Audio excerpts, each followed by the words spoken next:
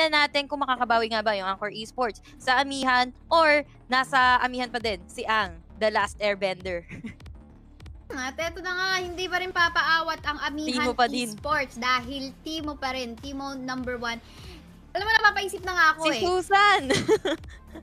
Binan nila dito si Susan. dito, sinasus, bina na nga. Ayun, ah, basically, second pick kasi dito, dito ang Amihan Esports. So, marami silang options na pwede ma-secure. Like what we talked a while ago, we were eyeing on to seeing a Lee potentially if gusto nila mag-go for an early, early kind of play. Ali, Mhm. top ban yan, actually, for both North and South Luzon. And now, getting picked in here, sobrang slippery. Kumbaga, pang-assassinate talaga. And they will be Yep. securing two assassins on their side together with the Kaisa pa nga. Aha, aha. And may kasama nga protect neto in the form of Lux. Ngayon, interested ako kung ano pa yung ipipick dito na follow-up ng Anchor Esports. Kasi, honestly, kapag ka may Vi kayo, hindi pwedeng si Vi lang yan. But, uh, um, I'm not saying na hindi ako satisfied dun sa mga last two picks dito ng side ng Anchor Esports. Kasi, nasa range or long range, yes, Nami, long range, Oriana, long range, nasa malayo. Fiora yung makakasama niya dito pumasok. But then again, Fiora wala siyang pang disable, wala siyang stuns. And they can only give protect as an Oriana and Nami. But then again, ang tax kasi nang nai-imagine ko na parang magiging suicide mission lang yung assault and battery dito ng isang Vi. Considering ito yung line-up ng Amihan Esports, pwede siyang makot up right away ng maybe after ng assault and battery niya ng light binding ng Lux then burst it out by Vi or ng Ziggs dito ng side ng um, Amihan Esports. So, I don't know. I'm sabihin lang natin hindi ako masyadong komportable dito kasi baka nga kasi maging suicide mission. Wala silang proper follow-up for this um, assault and battery coming from Vi. For me, magiging mahirap to para sa Vi. Potentially, Yeah. ang pwedeng mangyari para sa Vi is baka ma-pick off siya ng ma-pick off dito ng kalaban. Mm, true, kasi true, true. primarily, siya yung magfo-front. Siya yung papasok. The thing in here, pag nagkaroon ng team fight, it's gonna be a 4v5 fight in case because Fiora, kung magfo-focus siya sa split push, split push. Kasi hindi naman siya talaga pang ano eh, panghahaba na fight. Mas ma- mas malakas siya kung sa mga 1v1 duels talaga. So, ang magiging sacrifice dito, ang magiging tricky part for the side of Anchor Esports will be itong si Vi going for the pick-offs. Ang tanong is enough ba na kaya niyang matangke yung mga nasa harap niya at enough na ba yung magiging follow-up damage? Kasi wala tayong, ano dito, puro AP to eh, coming from Mhm. from Oriana and Porky as well. So, yun lang. Siguro, kailangan lang siguro dito sa start mag-build ng medyo tanky itong si si Vi. Mhm. Unless may mga mag-overextend talaga dito sa Amihan. But Amihan, sa Yeah. composition naman nila, sobrang lakas. Especially with that Lux and of course the Ziggs as well.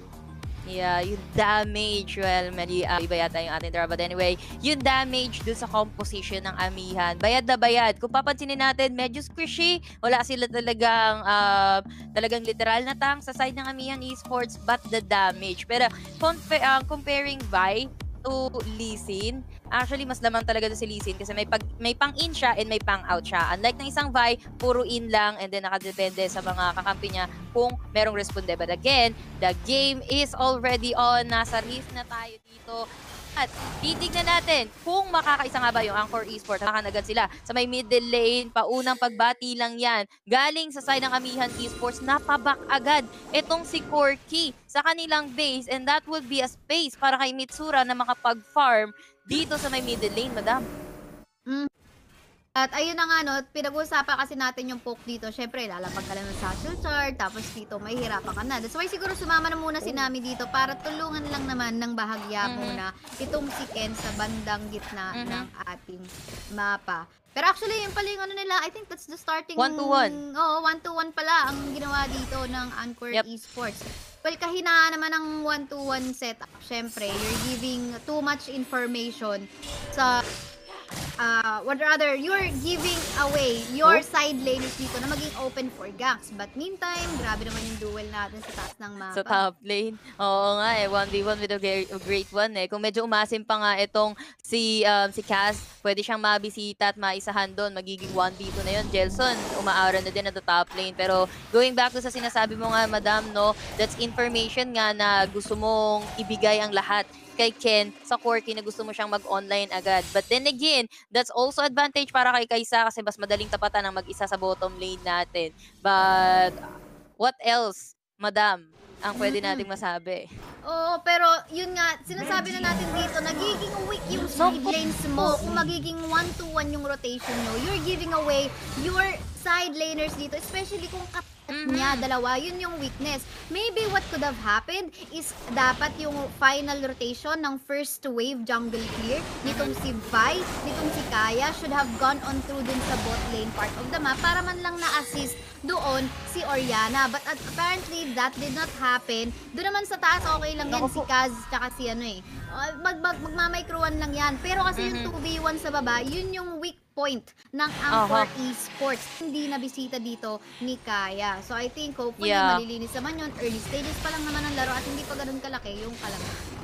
Yeah, true, true. And um, with that being said, nauna na nga ang chumalangit itong si Ariana the bottom lane, which is itong si Moy, na na 2v1 siya doon without any help coming from the Anchor Esports kasi nga naman inaalagaan nila si Ken.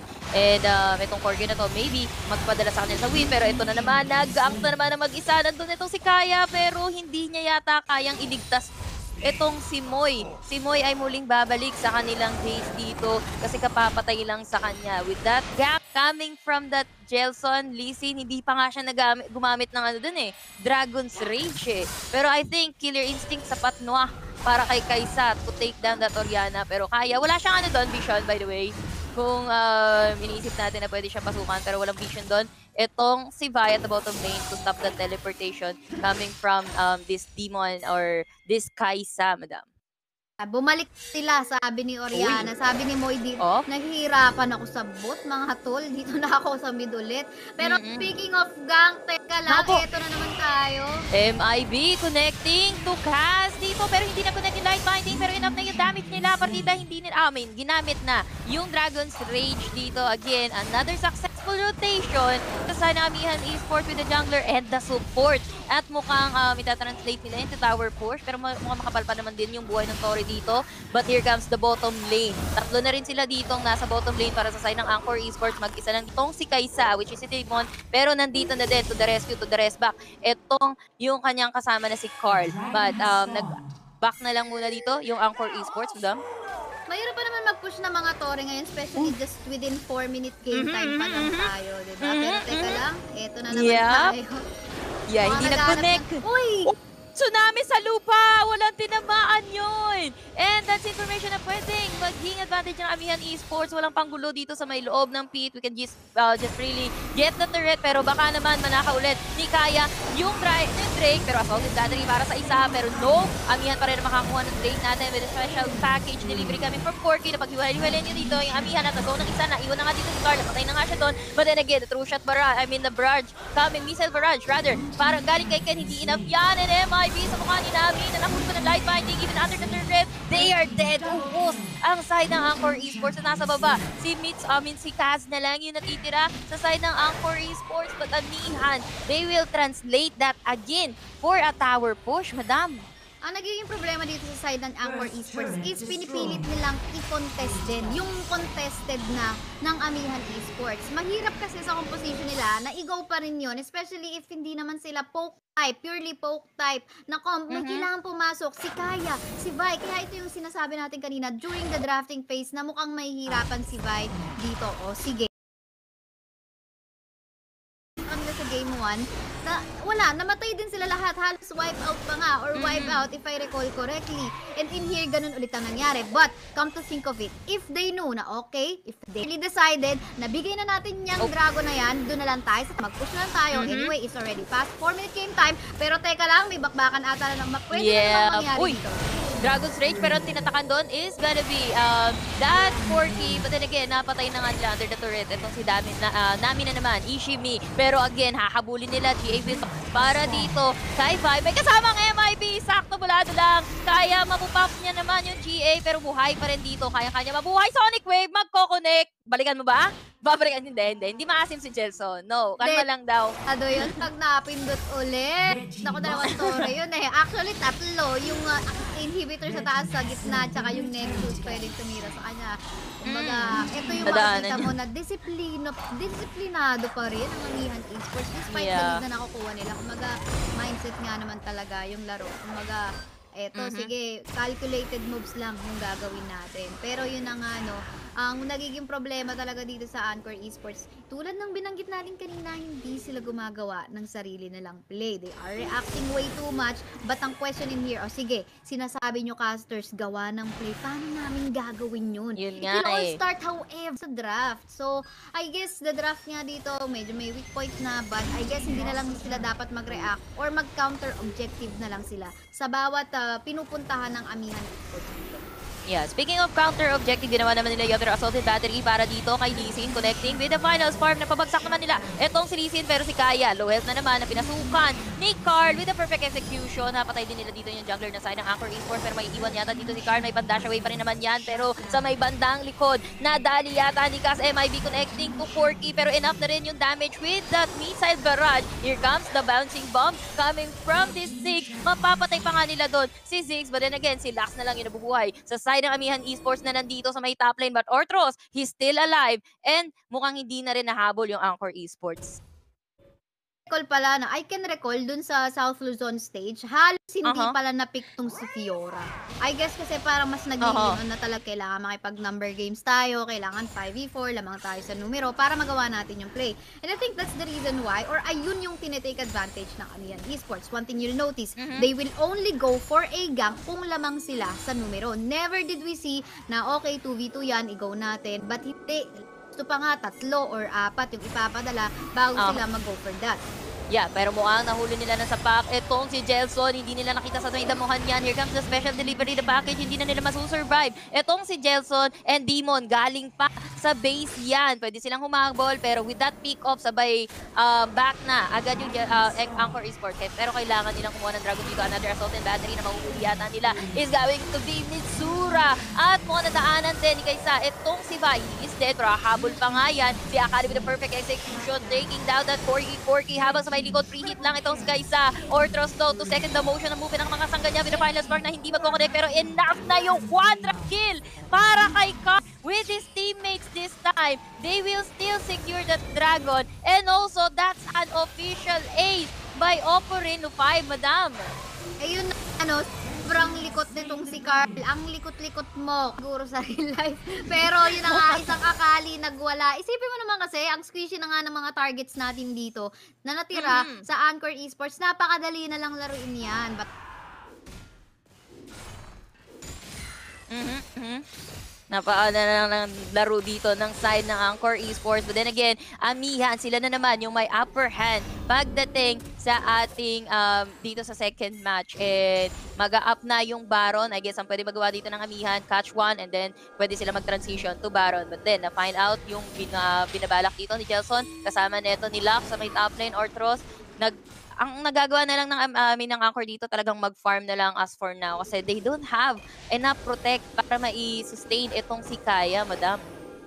problema, nagiging problema lang din dito is hindi natin nakikita pick off. Yes, they have a Vi na pwede, okay, kailangan si, ah, si Kaisa, hulihin mo muna.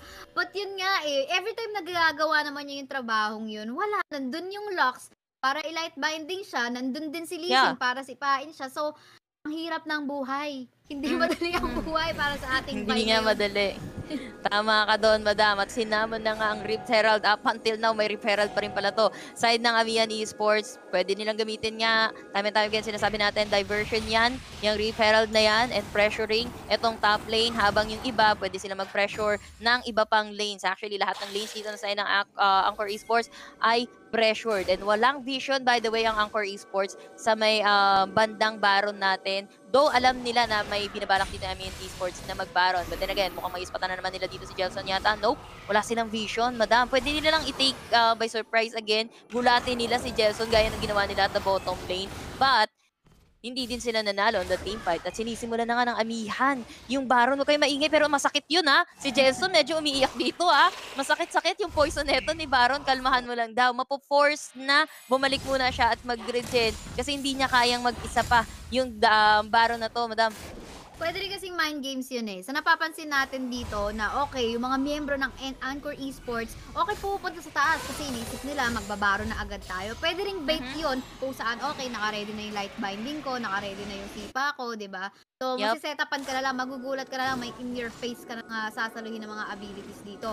Habang tumatrabaho, dun si Carl sa baba ng mapa, na alam nila, okay, walang Kaz, then sige, lamang din tayo dito kasi kahit naman natin sila in terms of damage. Since kakapitalize na lang natin yung Oh. natin.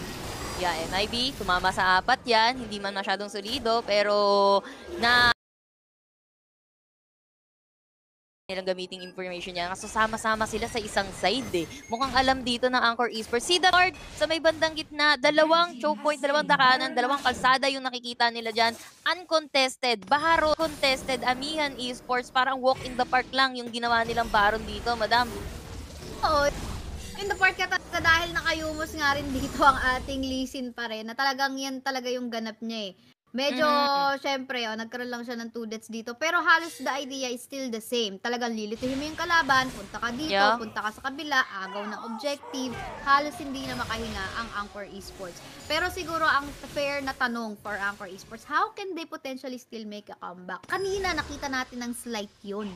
Kung saan slight nahuli si Jelson, di ba? Yeah, Nahuli yeah. Si Jelson, walang, ah, walang jungle sa side ng Amihan Esports. So, pwede-pwede tayo mag-take ng objective. Pero ang problema, ah, hindi sila makapwesto, kinakabahan sila. Nagpapapok. Ang problema kasi, Oh. nagpapapa kasi Mhm. sila sa mga Yup. miyembro ng Amihan Yup. Esports. Sinasalo pa Yup. nila yung damage. Mhm. Pero yung top lane natin, mukhang 1v1 with a great one with the 3. Sa ay napabagsak na yung isda dito. Nami is dead. Kasama mo pa yung galing sa Galactic Man. Oriana is dead at mukhang luluhod na rin si Corky. Hindi, napabagsak niya naman dito. Itong si Carl. Enough na yung damage pero okay lang yan. Tapusin ko ang iyong sinimulan. Mapapabagsak. Itong si Ken at the top lane. Normal attack lang with Icatian Icatian Rain. Sapat na sapat na. That's 3 down sa side ng Anchor Esports. At butas na rin yung dalawang inhibitor turret dito na side ng Anchor Esports. Here comes the Satchel. But then again, Icatian Rain. Inulan ng damage si ate nyo Fiora. Napatay man nila doon si Akane pero hindi enough yung final spark magkoconnect para sa isa. Reviving BA will be pa pero the next one will be focused down. And Amihan Esports sa kapangyarihan ni Sangre Amihan. Mananalo sila ng series na to, madam. Grabe yung kapangyarihan ni Sangre Amihan dito. Eh,